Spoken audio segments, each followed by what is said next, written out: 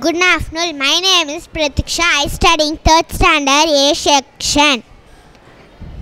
A slide is project is a device that is used to view photographic slides by using optical and mechanical methods. To con- it contains an torchlight. It contains an torchlight.